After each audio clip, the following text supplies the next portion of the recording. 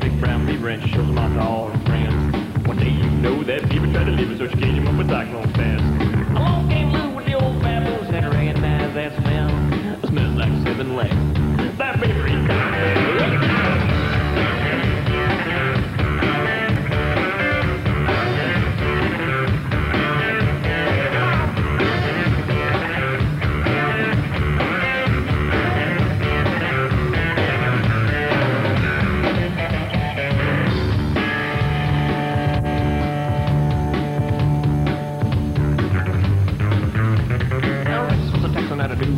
and he traveled with the carnival shows.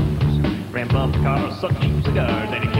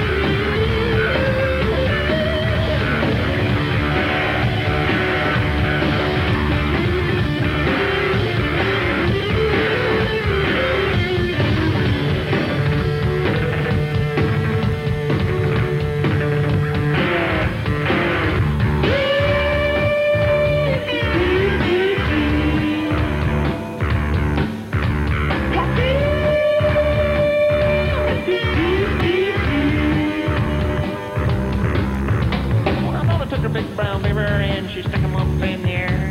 Said I sure do love this big brown beaver and I wish I did have a pair. The beaver was stuck for seven days and it gave us all an awful fright. So I tickled his chin and I gave him a pinch and the bastard trash back.